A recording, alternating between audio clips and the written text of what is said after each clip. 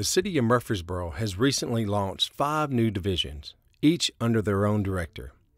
Urban Environmental recently merged into the Street Department.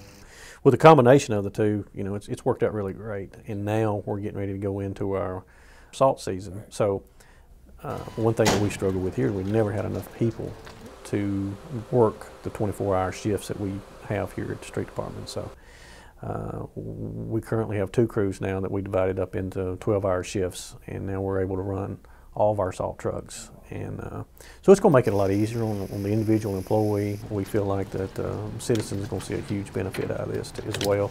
I think there was uh, 15 of those guys that came over here to work with us. And you know what? And morale's been good. You know, these guys, they're top notch. Our guys are top notch. And you know, when you get that kind of quality of people working together, it's just been a great transition. Uh, you know, and we're looking forward to the future. It currently is in peak time of the fall leaf collection.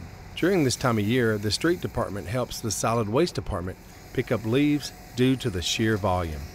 And the city is divided up to increase the speed. We still still working with that program and it's been that has worked very good because obviously we can get around get around a lot faster.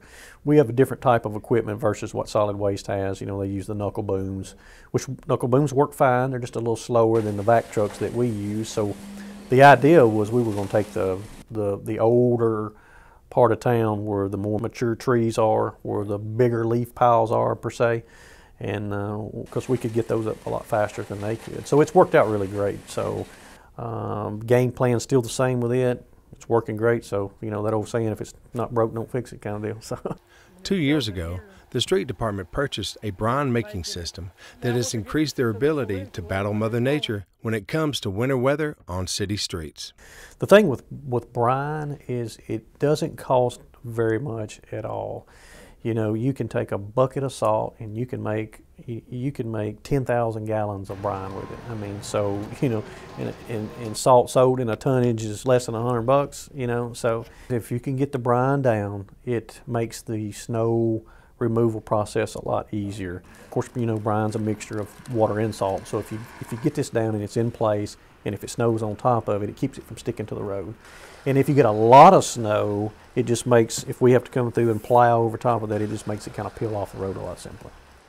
If you have leaves and yard waste that you've put on the street for pickup, Raymond welcomes citizens to give them a call.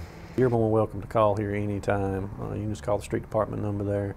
If they can't call and schedule us to come get them, say, hey, my leaves are out, can you come pick them up? But we'll let you know where we're at and how long it'll be before we get there. Because we do have a route that we like to keep the guys on, and so that so that they don't get off track, uh, and everybody's treated fairly that way.